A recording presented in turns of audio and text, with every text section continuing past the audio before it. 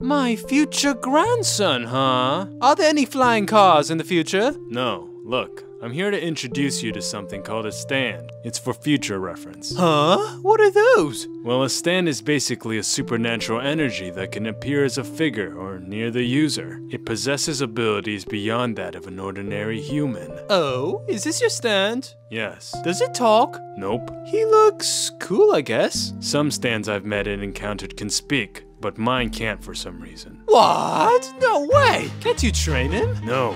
It's the same as teaching a worm to do triple flips. It's impossible. Good grief. I can't believe your stand can only say ora.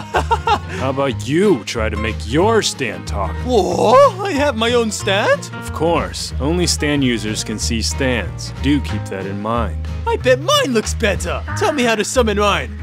Josefu Josuta. Huh? What the frick? Why is my stand a talking purple twig?